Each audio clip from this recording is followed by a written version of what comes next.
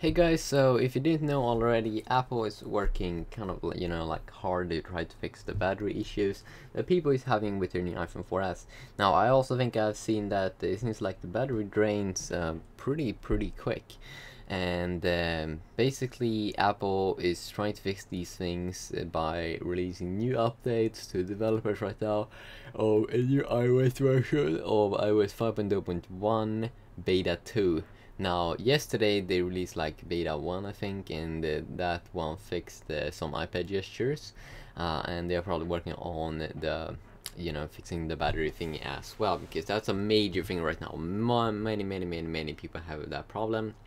So that beta 1, it was basically called the 9A402 update, and this is the 9A404 update, so uh, it's probably not, you know, huge, huge change that they're doing, but I mean, we have heard these things that uh, you, you can try to fix this iPhone 4S battery thing. It seems like it's like the GPS, or I think it's the time zone that's like updating all the time, even though it, you know, it's a bug.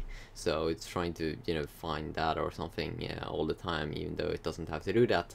Um, so that bug should probably be fixed here when this goes official, hopefully like next week or something. Um, so iOS 5.1, yeah.